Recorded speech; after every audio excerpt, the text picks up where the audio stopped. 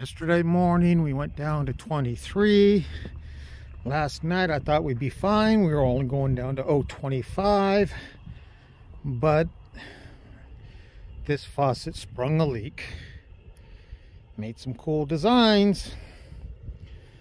But now it's like 30 degrees and I gotta work on water. Not fun. Alright, it's this pipe right here. It's split right here in the back hitting this wall and making all the designs. Cut out the bad piece, stuck a plug on it, and no more leaks until tonight's supposed to be down to low 30s then the next night is supposed to be down into the mid 20s again after that I shouldn't have to worry about till next year